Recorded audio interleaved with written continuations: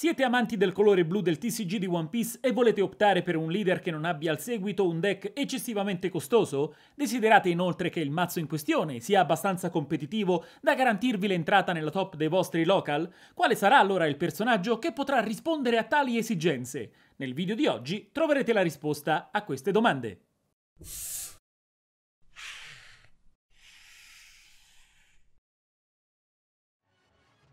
Signori, bentornati sul canale con il nostro consueto appuntamento settimanale. Tra Zoro, sempre più aggressivi, Barba dominanti e Smoker che controllano il campo da gioco, OP02 sembrava aver raggiunto il suo culmine, consacrando questi tre leader a predatori alfa in cima alla catena alimentare. Sembrava, e invece direttamente dalle celle di Impel Down, sfuggito alle grinfie di Magellan, un faccione simpatico e scanzonato ha trovato quel posto in un meta che sembrava essere arrivato oramai a saturazione. Ivankov infatti attraverso attraverso le dinamiche semplici e dirette del suo deck, ha divertito ed appassionato diversi aspiranti re dei pirati che in questo leader hanno visto un degno successore del Doffy di OP01. Personalmente il mio primo approccio con questa tipologia di mazzo non è stata proprio rosa e fiori, ma c'è da dire che non lo avevo utilizzato per niente prima di presentarmi ad un local e lo 04 che ne è conseguito ne è stata la prova. Ma, comprendendone meglio con il tempo il procedimento e le strategie basilari, devo dire che non credo a quello che sto per dire sia uno dei deck più divertenti e soprattutto performanti in questo meta popolato da mazzi rossi, verdi e neri. Prima di iniziare volevo invitarvi ad iscrivervi al canale se ancora non lo avete fatto.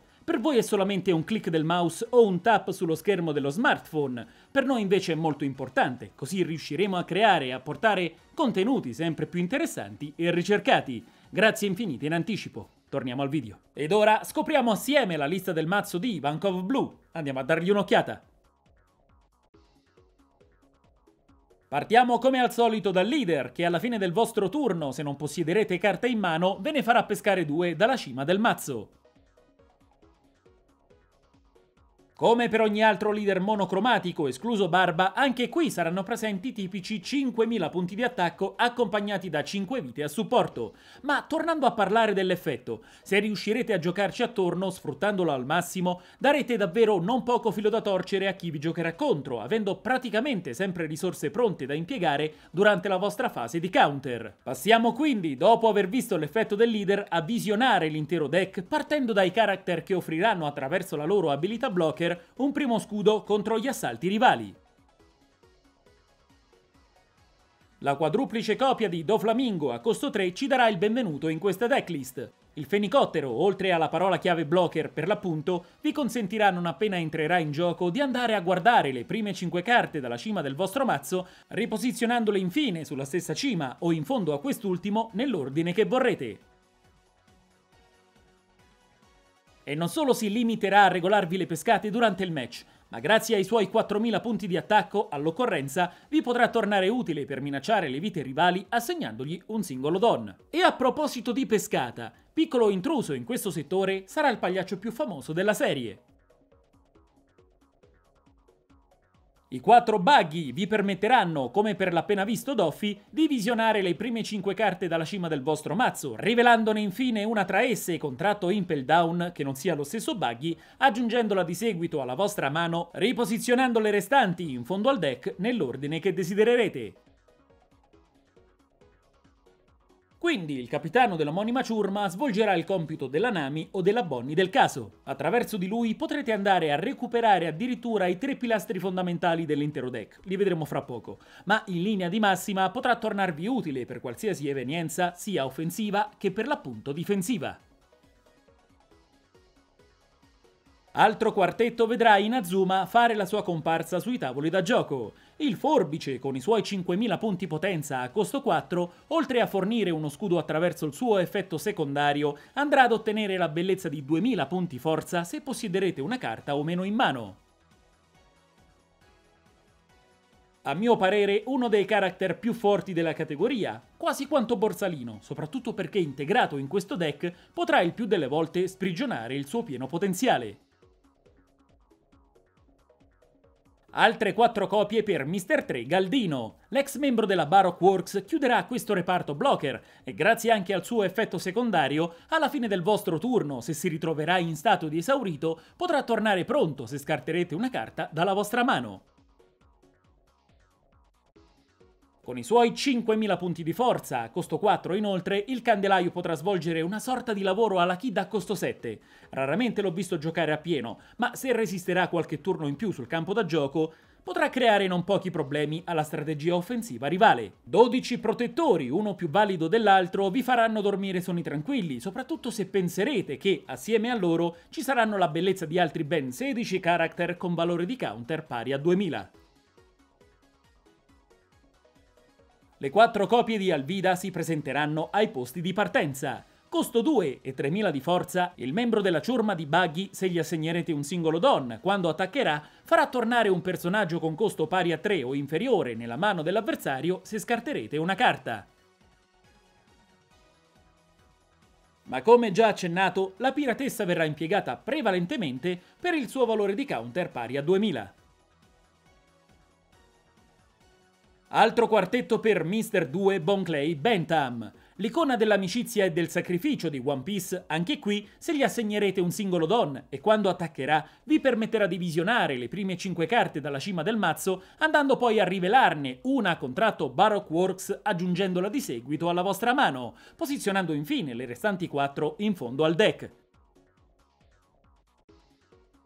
Effetto davvero interessante, soprattutto se vorrete andare alla ricerca del già menzionato Mr. 3 o il Mr. 2, che sarà letteralmente il prossimo che vedremo. Ovviamente, in tutti i vari match che ho affrontato e ai quali ho assistito, questo character è stato impiegato per la maggiore unicamente attraverso il suo valore di counter. Comunque, valutate bene, dato che possedendo un valore di forza pari a 4000 a costo 3, innescandone l'effetto potrete minacciare a sufficienza le vite rivali. Da determinare inoltre in questo frangente sicuramente, se vi aggraderà, la sostituzione con altrettante perona, allo scopo di manipolare al meglio il ciclo di pescata. Spetterà a voi la scelta finale. Il quartetto di Mr. 2 Bonclay Bentham, versione Impel Down, per l'appunto, come per l'altro Mr. 2 e Alvida, assegnandogli un don quando attaccherà, farà tornare un character con costo pari a 2 o inferiore in fondo al mazzo del proprietario assieme allo stesso Mr. 2, quando la battaglia sarà giunta al termine e se scarterete una carta dalla mano. e con il suo costo 5 e 5.000 punti di forza di certo rappresenterà un enorme problema per le difese avversarie, anche perché l'innesco dell'abilità di questa carta non sarà obbligatorio, potrete scegliere di attivarlo o meno, a differenza invece del prossimo personaggio. Dracol Mihawk, infatti, non solo concluderà questo reparto 2000 counter, ma attraverso il suo effetto, ancora una volta, se gli assegnerete un singolo don, vi permetterà di pescare due carte dalla cima del mazzo, andandone poi a scartare altrettante dalla mano quando attaccherà. e sarà proprio attraverso la sua abilità che il membro della flotta dei sette alimenterà il motore di pescata dell'intero deck, entrando in perfetta sinergia anche con il leader stesso. In più credo che un bel 6000 a costo 4 da buttare nella mischia di certo non sarà ben visto dalle difese rivali, ma comunque resterà il fatto che nel buon 70-80% delle volte verrà scartato dalla mano nell'intento di usufruire del suo valore di counter. E dopo aver esplorato anche tutto quello che vi servirà per dare supporto alla fase difensiva, rivolgiamo l'attenzione ora verso quei reparti che metteranno a ferro e fuoco le barriere nemiche. Ennesimo quartetto per Crocodile a costo 5, che con i suoi 7000 punti di forza si presenterà sui campi di battaglia come un classico character senza abilità.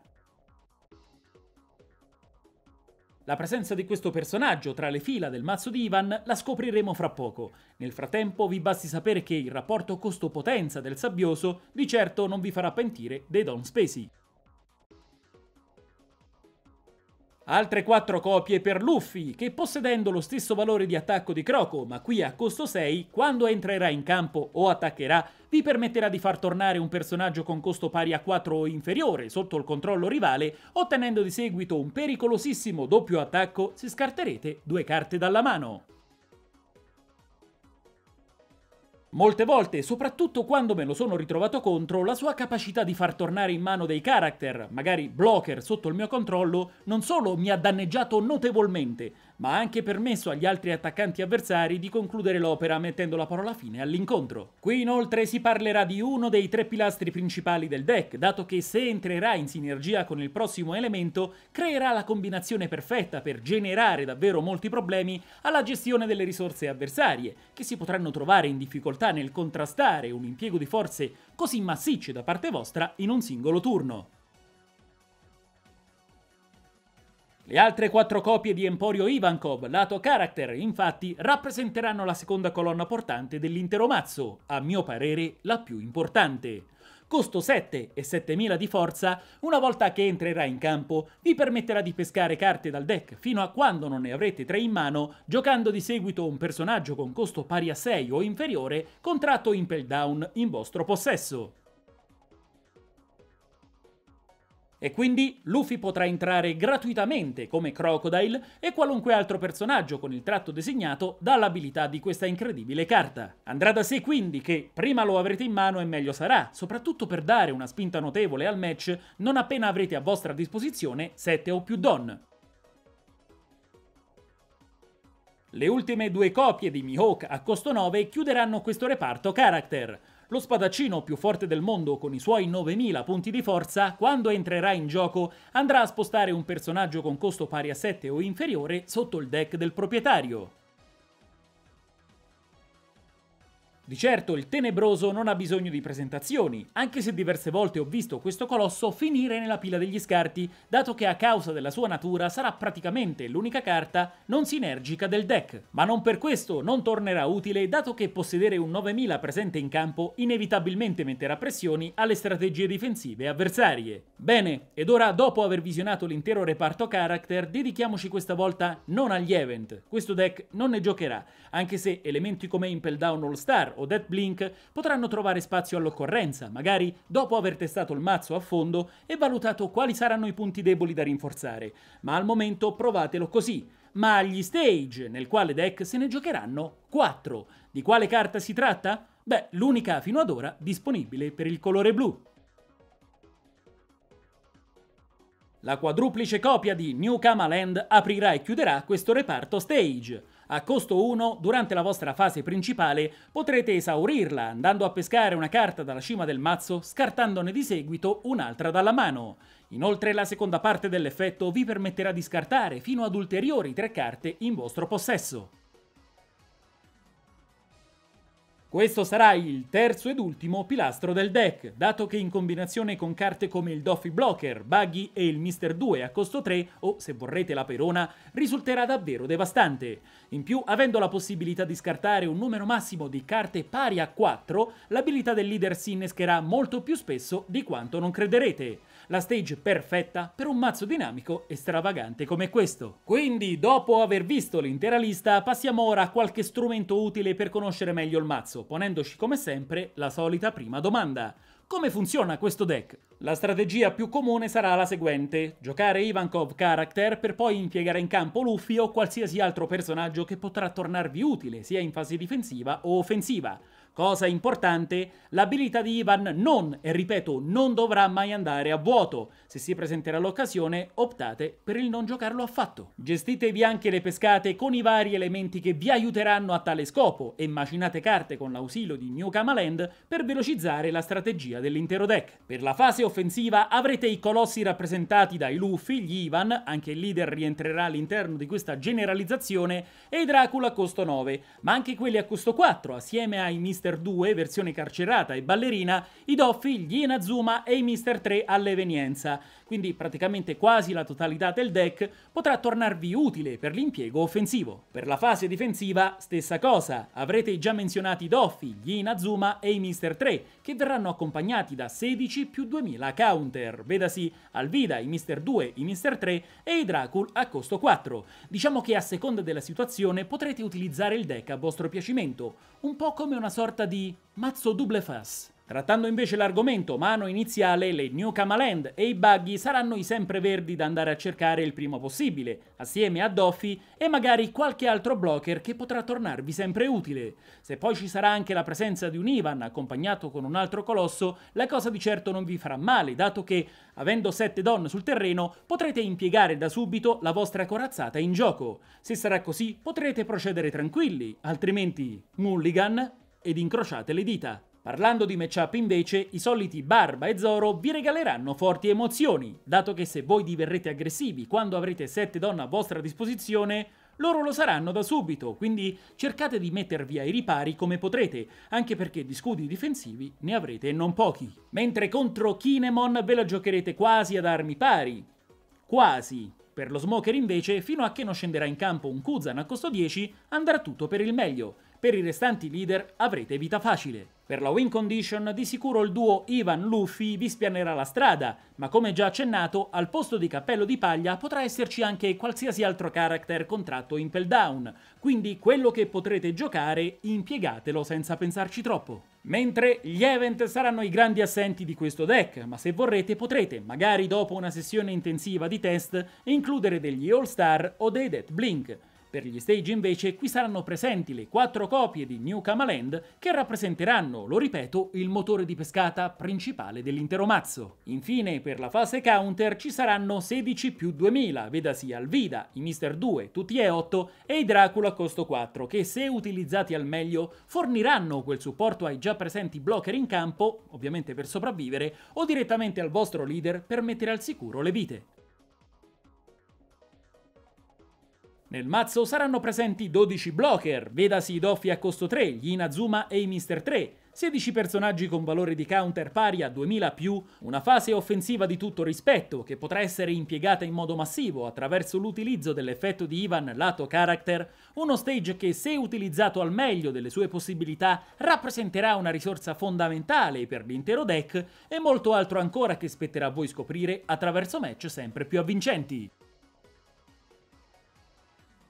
Questo mazzo inoltre sarà economico. Probabilmente per racimolare tutti gli elementi del deck vi occorreranno massimo 70 euro ad occhio e croce, per starci larghi e quindi rappresenterà pieno la scelta migliore per tutti coloro che vorranno approcciarsi al gioco gestendo allo stesso tempo un mazzo competitivo. Prima di concludere volevo rendervi inoltre partecipi della presenza del canale Telegram messo in piedi da Cryos dove sarà possibile prenotarsi per eventi online con tanto di premi a chi si distinguerà piazzandosi ai piani alti della classifica generale. Vi lascerò tutto il necessario come sempre in descrizione. Di sicuro quando penso ad Ivankov un un solo termine mi viene in mente. Divertimento, anche perché non avendo poi delle strategie di gioco chissà quanto complesse, si adatterà perfettamente ad ogni tipologia di giocatore, sia veterano che non, soprattutto non. Infatti, lo ribadisco, Emporio sarà il perfetto punto di partenza per ogni nuovo aspirante re dei pirati che vorrà salpare alla volta del tesoro lasciato in eredità da Gold Roger.